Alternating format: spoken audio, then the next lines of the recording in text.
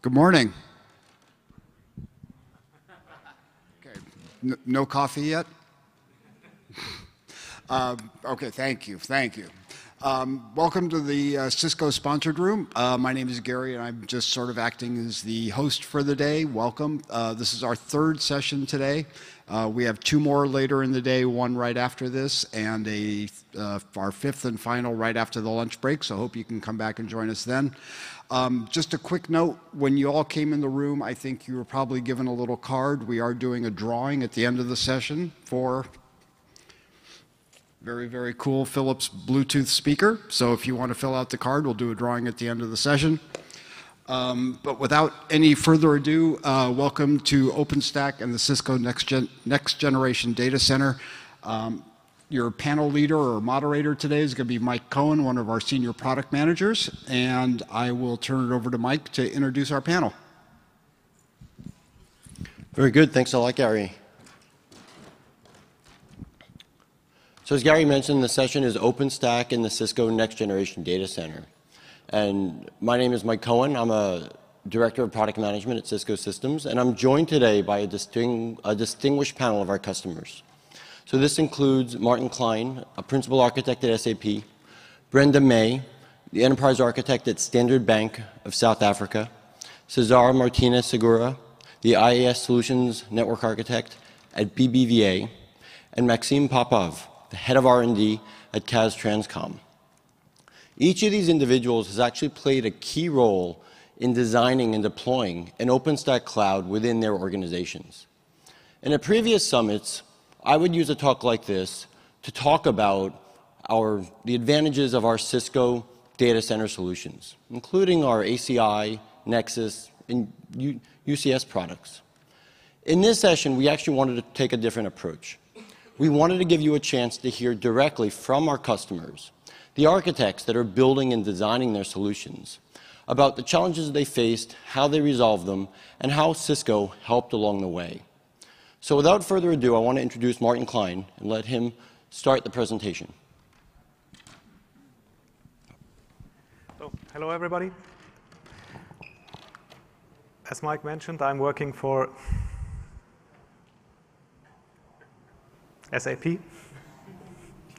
We are um, a software company based in Germany. Um, we are actually a market leader in enterprise software, and as most software companies, we are currently undergoing a transformation from delivering our products on-premise to delivering cloud solutions. And for that, we need a private cloud optimized for actually our workloads, which are not yet in a state where we can deploy them um, in a public cloud environment very easily. So we have very special availability constraints, and also data security is very important for our customers.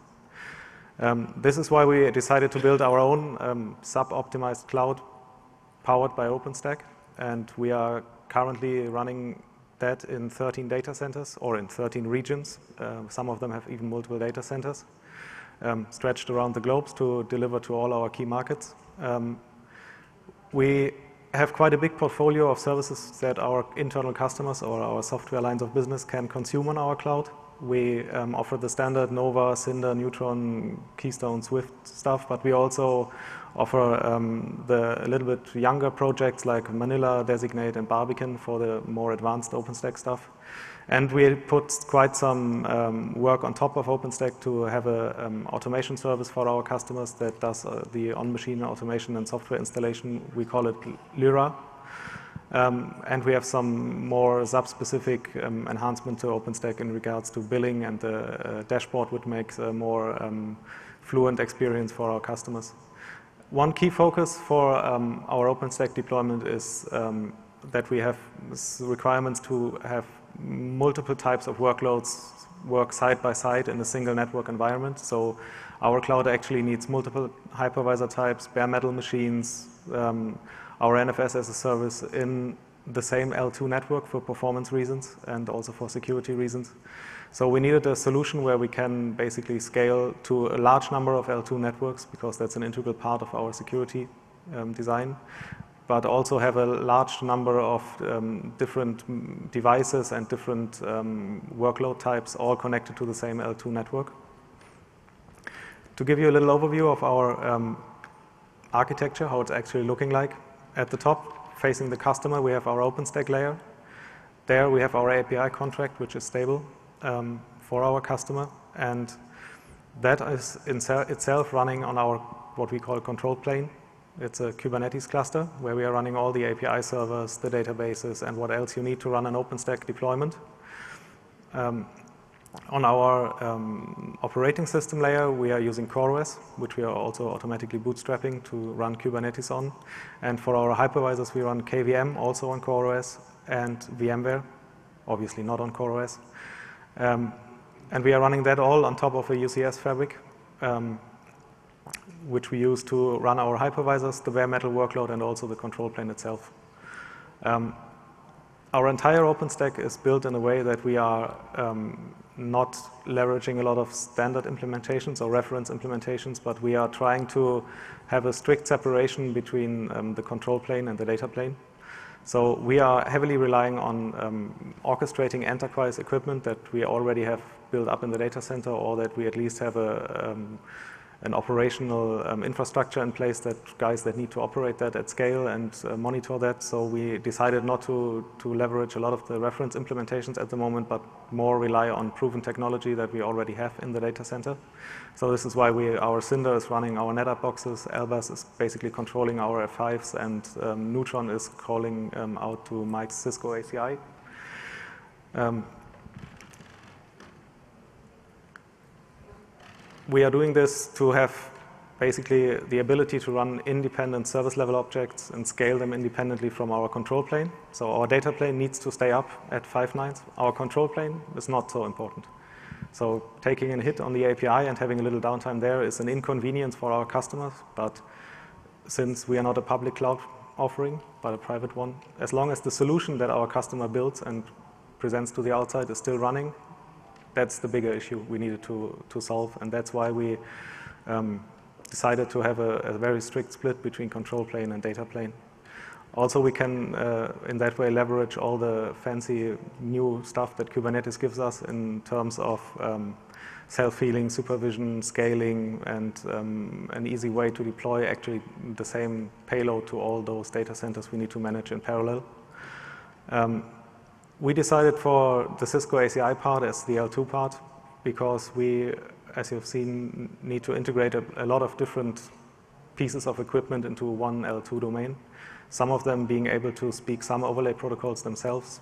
The software solutions we need to integrate, of course, are the most advanced in that part, but we also need to introduce a lot of equipment like our storage um, boxes that have limited or no SDN capabilities and will most likely not get them. So we invested a lot of work into um, writing drivers together with Mike's team to have a Cisco ACI using Neutron HPB scale up to more than 4,000 networks whilst they're having a VLAN as the base contract between the device and the fabric. So we moved a lot of the intelligence that is needed for scaling that up and running that large number of um, networks into the fabric itself and not try to push it on the device. So all our connected devices only see the most simple network model available. So it's the VLAN network model in OpenStack. But we try to basically um, run on all our scaling inside the fabric and do all our intelligence inside the fabric and have the fabric do the hard work, also performance-wise, like encapsulation and decapsulation of all the overlay protocols. So thank you very much.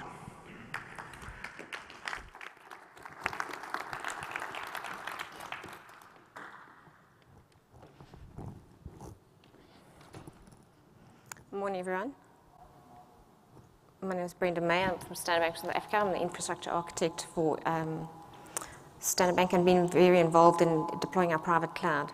So just tell you a little bit about our bank. We're 153 years old. We are the largest bank in um, Africa. We run, operate across 20 countries. We've been listed on our stock exchange since 1970, and we have about 44,000 employees. If you take our insurance subsidiary, subsidiaries, it's about 55,000. And in South African rands, not euros, I suppose it makes a big difference when you bring it down to euros. We're about a 2 trillion rand operation, but down to euros, it's 128. So I don't even need to tell you the problem that we were solving while we were doing our private cloud. It's very similar to everything you've heard from everyone this week. We were trying to move faster. We were trying to reduce our costs. We were trying to standardize. We were trying to create a platform to increase innovation for our clients.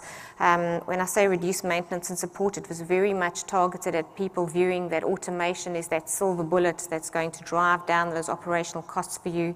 Um, and then trying to improve our end user performance. That's that whole mantra that you're going to be able to um, allow your customer to self serve, and in so doing, you're, you're driving based on their demands.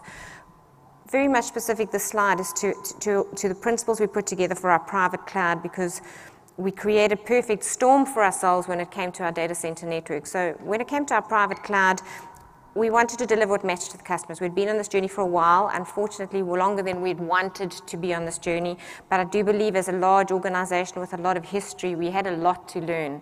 Um, so we, we had to reevaluate the principles we set out for ourselves up front and then and turn around and say we actually have to deliver what matters up front. At first, we wanted to do this one hit wonder, this absolute nirvana, everything we thought the customer might want, all had to sing and dance for them.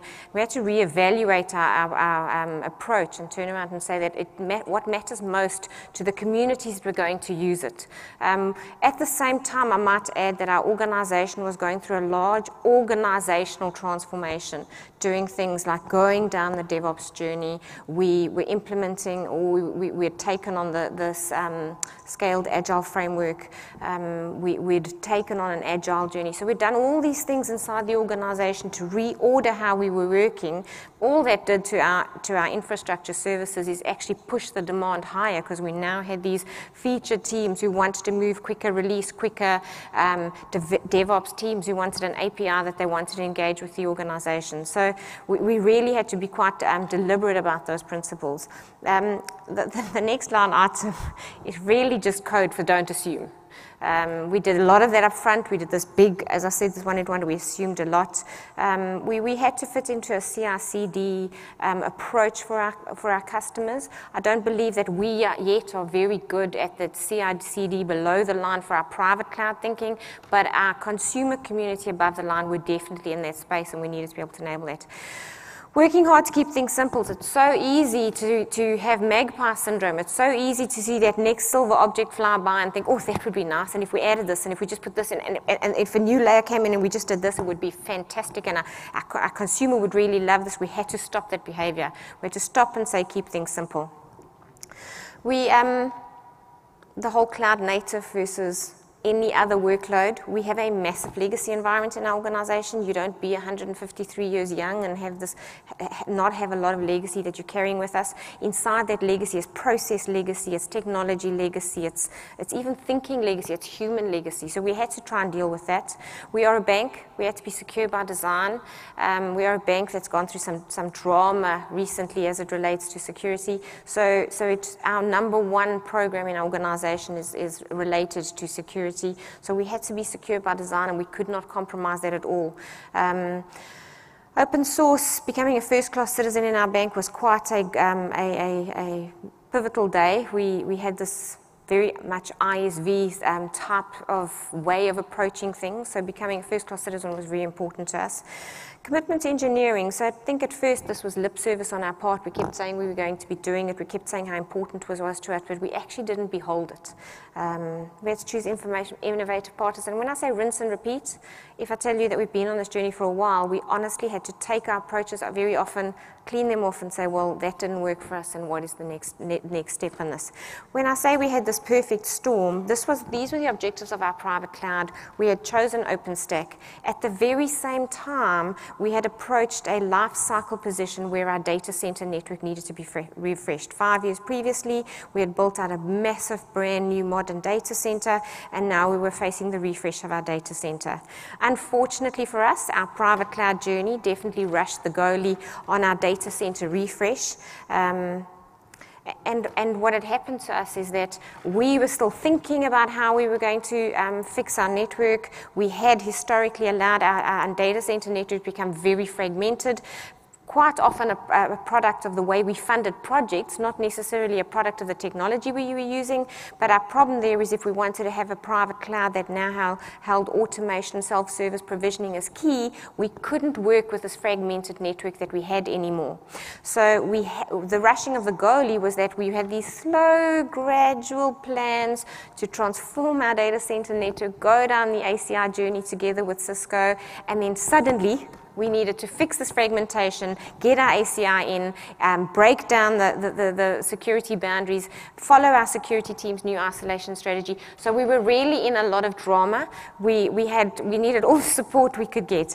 Uh, I've got a little note there at the bottom that says thank you, and this is a thank you to Cisco and SUSE. I think we put them under a lot of pressure. I, I'm not even sure if they did it because I nagged so much once a week on a Monday afternoon. but I don't know what, I don't know why they did it for us, but I'm just so grateful grateful. Um, so, so what, what, what, I'm saying there is that we, they weren't ready with the drivers. We had chosen SUSE OpenStack Cloud on our, as our OpenStack distribution and they weren't ready. We needed to use the Liberty release. The reason we needed to use the Liberty release, as you'll see from our architecture, we are a, um, um, a Z series site and we do use Z Linux. And we had a number of workloads and, and services to our consumer community that needed us to be able to um, orchestrate to um, a, Z, a ZOS outcome, I mean a Z Linux outcome. So, so we'd really put them under pressure for that. Other challenges we faced when I say losing the shackles of the past, we're a bank and all the other banks, I'm sure, can attest to this, especially if, you, if you're not a young bank, um, is that you build processes on process to manage process, and that process belongs to a person who's quite passionate about the process, and beca- they become quite religious about the process. And, and, and honestly, we kept trying to fit in instead of turning around and saying that we're changing the way these people are working. We're taking this new digital native community and we're servicing them, and the, and the people who are attempting to be digital immigrants really need to go down the journey. We don't need to change this enabling technology to accommodate their current thinking. So that was hard for us. All of us would know if you're talking digital um, um, cloud native versus anything else in your environment and the legacy, you have to get people to start thinking that this is now about the application's resilience and not about the infrastructure redundancy.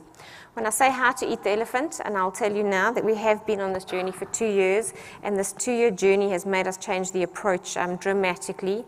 In that change of approach, um, we have had to turn around and say, especially with the, the position we had where, where, we were rushing the goalie on our data center implementation, we really had to turn around and say, what can we deliver in small pieces? So it literally became a sort of two data center implementations. Our, we, we are a dual um, fabric across those two data centers. We literally had to turn around and say, we will deliver this little piece of the fabric in this data center first. We will follow that. We will allow the automation and the cloud um, implementation to start in that data center for that availability zone, and then we will move on. So we've really had to take agile to the extreme.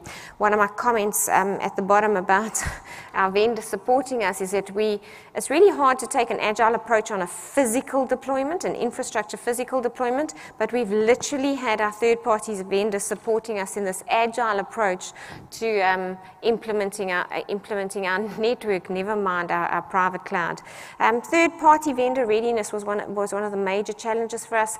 Um, I'm, I'm, sure I, this, I speak to everyone in the organization that has got third party um, um, proprietary vendors that are going to stay there for a while. We choose a release, we need certification, um, and we really did put a large number of vendors under a great amount of pressure to support us in time. I will tell you that everyone's rallied together. We're not, we're not unhappy with the position that we're in now. It's really just about making the delivery very real. So um, to that point, both SUSE and, and Cisco were fantastic. They, they, they gave us an early, early release of drivers. Um, they, they, set up a labs purpose built for our, for our de- development of the releases.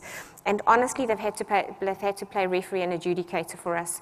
We are, I go back to the shackles of the past. We've got people with legacy thinking. We've got the digital natives. We've got these two schools of thought in our organization. And we needed someone to adjudicate and almost mediate um, for us across these parties and, and, and then the vendors have been fantastic. Thanks, thanks very much, um, Mark, and a whole bunch of the advanced services teams inside Cisco have played a massive role in that. Um, also, and I think we do this all the time, I, I, imagine a lot of organizations do, we use Cisco's advanced services team to, to work through our data center architectures with us. And um, to help us in the deployment, and, and they've been with us throughout this. I mean, literally, take we we sat in Las Vegas at Cisco Live this year in a quiet room fighting it out. So I think we have a photo of all the protagonists who couldn't agree for however many months. We have a photo of us with this piece of whiteboard paper and the mediator of our drama. So I couldn't I couldn't be more grateful to them for that. Um, that's really the way we've, the, journey we've taken. There's probably a lot more. I, when I was preparing for this, I had to try and acknowledge that every single one of these line items I could probably wax, wax lyrical on for about two or three hours. So happy if anyone wants to catch me to, to go through, the, through how we actually drove this out. But it's been a fantastic journey, and we're quite happy with where we are at now. It's now just making our customer happy. Thanks.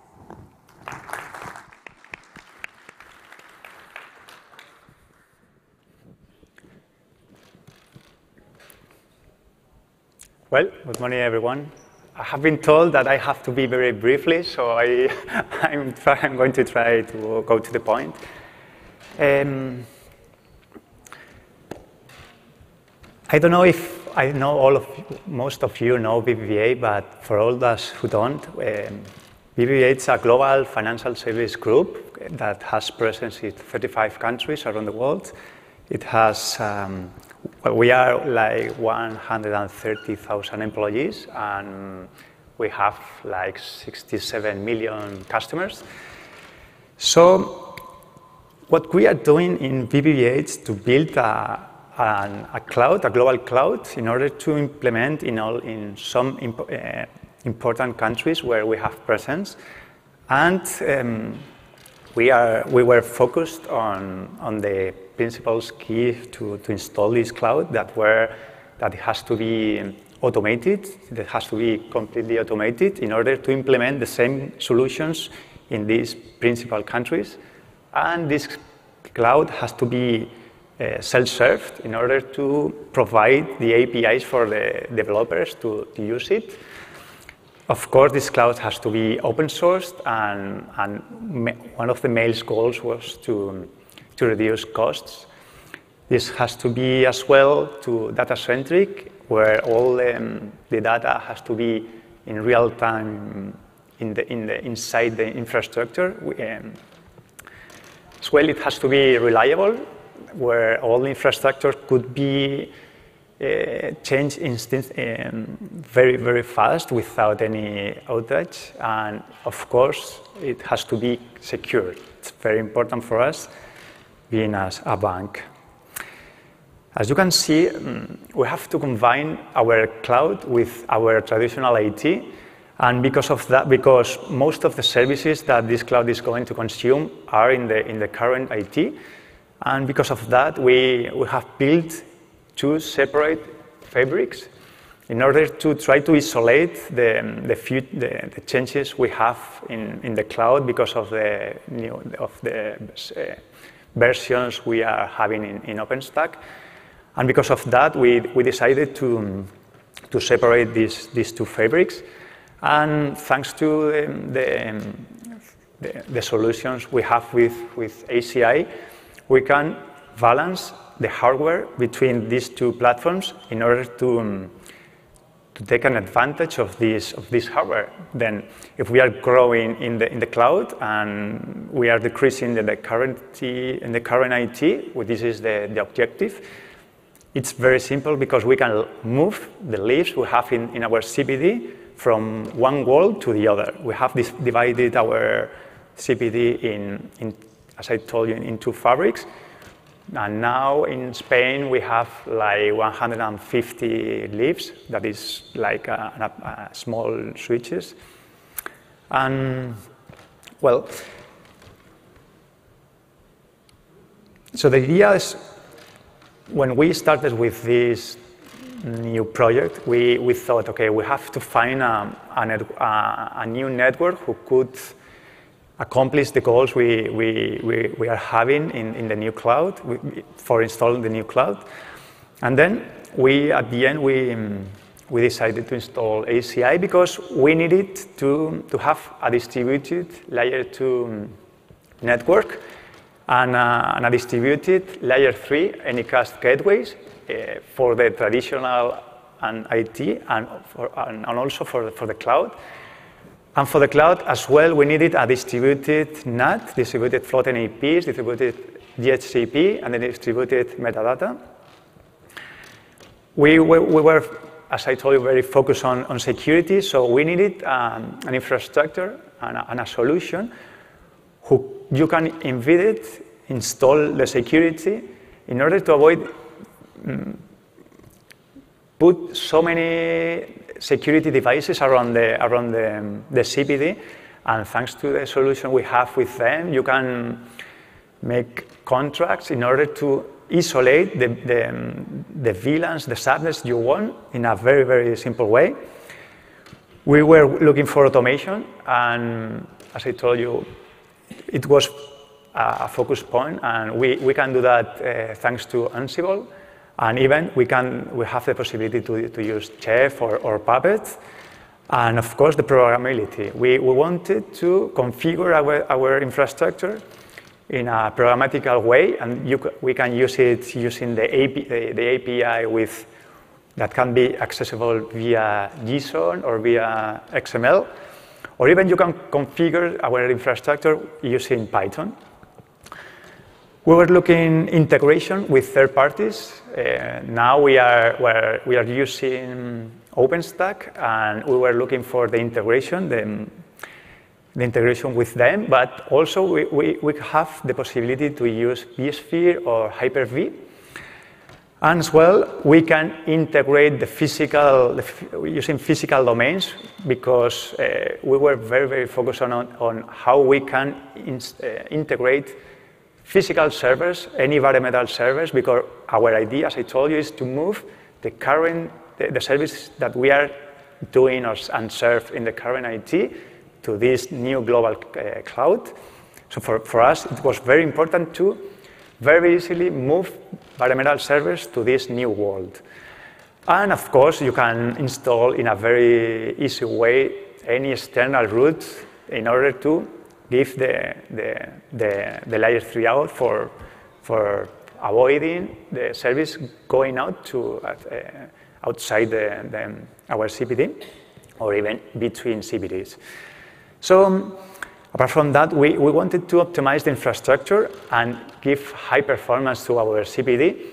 We can do that because we can uh, um, expand the, the VXLAN solutions at top of the rack and even we can avoid, uh, put a lot of devices in, in the CPD, like, for instance, firewalls, load balancers, because we can redirect the traffic, exact traffic we want, to these devices, and not put every single device in each rack. We can make a kind of service graph in order to send the specific traffic we want to these, to these devices we were very focused on the integration between the overlay and the underlay. So we can do that because the ACI can talk with, the, with the, our ECS, UCS uh, hypervisors, just in installing um, an agent, the OpFlex agent, who can talk with the OVS via OpenFlow. And finally, we were focusing on the, the facility, the, make easier the troubleshooting and the management because instead of trying to configure each device individually, we wanted to have um, a, a, unique management console where you can see the, the, the fabric as, an, as, as a, a, virtual enormous switch where you can add or delete the, the switches in a very simple way. And um, just to say this is the, the, the, the, main problems we, we have to, to accomplish. And it was, a, at the beginning, it was a very hard way to, to install this new solution because it was um, a new solution for, for all of our network people. But thanks to the, the, engineers from Cisco who were very focused on, on, the, on helping us to, to develop it, especially Hector Fernandez, who who made a very good job with us, and I hope he will be, do the same in the future. So thanks a lot for, for Hector and for all the engineering from Cisco. And Justin. Thank you very much.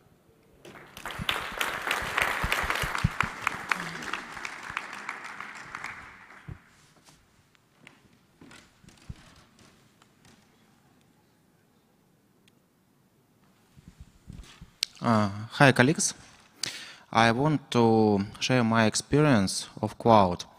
Uh, we one of the largest company, telecom company in Kazakhstan, and we maintains thousands mills and hundreds points of presence, um, big network.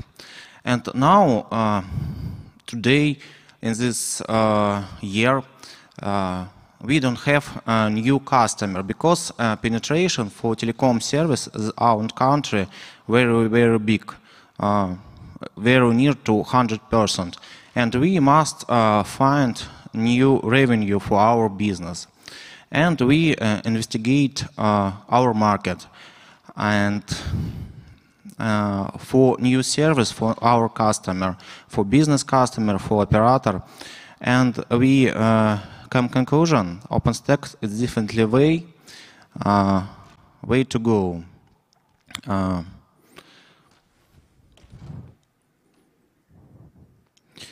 uh, one moment.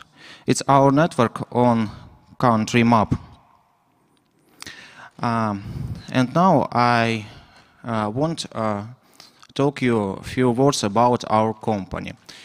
Uh, in our work, we uh, have uh, four main principles. and all the, these principles is our strongest side. first is customer focus. We work for our customer. Responsibility, innovation ability, and professionalism. Uh, when uh, we find a solution for uh, our cloud, we won't find solution who uh, matches these requirements. Um, and uh, in our market, work to company, big company, it's Cisco and Red Hat. This company full match this requirement because they have relationship and create uh, Cisco validate design between Cisco and Red Hat. Uh, it's very important for us um,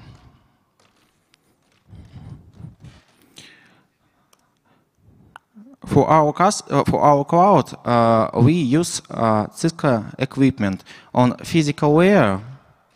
We use uh, compute from Cisco, it's UCS. We use network, it's Fabric, and storage on base uh, Red Hat and Ceph, CEP from Cisco and Red Hat company. Also for virtualization, for create virtualization layer, uh, we use uh, hypervisor virtualization KVM from Red Hat uh, and SDN from Cisco. For cloud operation system, we use OpenStack from Red Hat. This this validate design uh, give a big advantage because we create our cloud easy uh, and minimal with minimal risk. It's very important for us. It's complex system for our for our customer.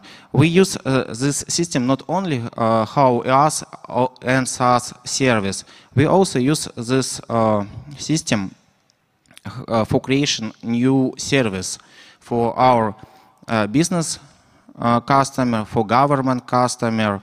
Now we have DDoS protection on base cloud. We have management Wi-Fi. we have DPI service uh, many different service uh, for our customer on base one reliable uh, cloud platform. Um, now we have advantage. we can create test proofing and create new service and launch this to market in very small period of time.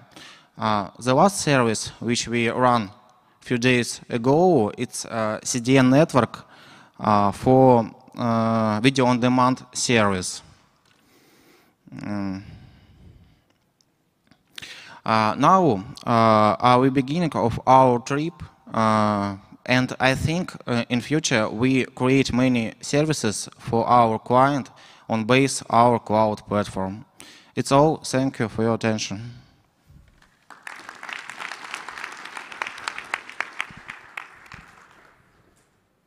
Well, I think at this point, what I, what I wanted to do was give everyone the chance to ask questions if we have, have questions of the panel. I know we don't have a, a ton of time left, um, but we do have a couple minutes if folks wanted to ask a couple questions of, of, of anyone or of uh, the group here.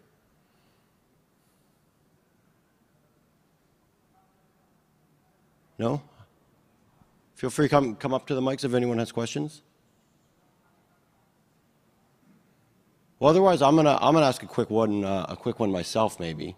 Um, you know, you guys actually covered a lot of the topics that I was planning to ask you about, but I figured since we only had a limited time, I wanted to see if you had any advice for folks in the audience that are thinking about doing OpenStack, um, you know, the way the way you already have, you know, what kind of you know one or two key learnings did you you know have you had that you would you know advise people to think about as they embark on a journey like you had? I don't. I'm going to tell you. Okay. Um, I didn't focus on this because I focus in the in the maybe in the technical part, but it's very important how the engineers from the from the different departments have to work all together. It's true when I heard about the DevOps and what does it mean. Exactly, it it fits very well in these in these solutions. And what I mean is that in the, in the traditional IT, it's true that all the departments were very focused in their job, in doing networking, doing security, doing compute, or whatever. And now it's true that in the cloud solutions, in the, in, if you want to, um, to go to the, to the cloud services, you, you have to, to work all together in uh, just one team. It, it's true that it's, it's, uh, it's very important and, and and in order to obtain the goals for, for, for, for this success, all the groups have to be working together and, and, and not just like working a, as a silos. It's very, very important. Yeah. I, don't think I can, uh, it's definitely, I agree with everything that, that, that my peers said here, but I think the one thing that we as an organization did is we got ourselves very confused between services that were below the line and services that were above the line. So services are servicing your consumer, and the reason it happened to us is because we are actually we are actually our service provider and our consumer at the same time. And if I made a comment in my presentation that said you've got to drop the shackles of the past, and that's what I meant by that. You've got to stop thinking that, um, well, firstly, the silos are an issue, but you've got to stop thinking that you, you have to treat something the way you've always treated it because that's the way you've operated and that's how you are. You really need to encourage everyone to totally, totally, totally rethink, not based on what you know, but based on the outcome you're trying to achieve. And very often you have to shake somebody and turn around and remind them that they need to think about whether they're answering a question above the line as a consumer or below the line as a service provider to your organization. We didn't do that right up front. Um, and I, I, mentioned we'd been on the journey for a while, and it was one of the things that when we had to reevaluate our approach, we had to stop ourselves and say, what happens below the line is our first focus. Assuming, of course, that we are meeting the, the above the line consumer demands um, based on what the client wants.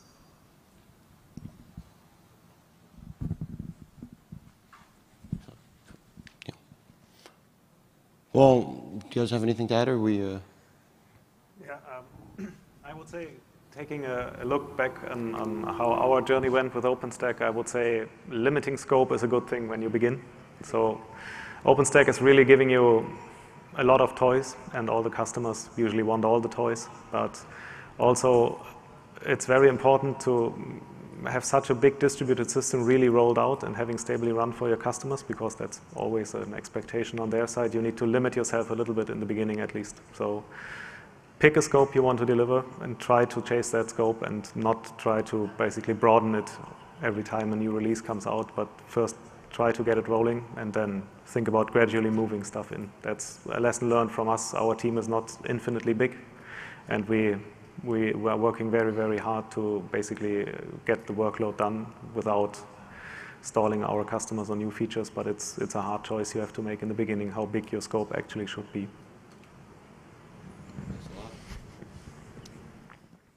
Well, everyone, I think uh, at this point it looks like I'm, we're, we're about to, to get the nod that we're running low on time. But I wanted to thank everyone for, for coming today, and I wanted to thank the panelists for, for joining us and for sharing their thoughts. Um, and I hope you guys stay for the next session. Thank you, Mike. Thanks, everybody. Um, round of applause for everybody, please.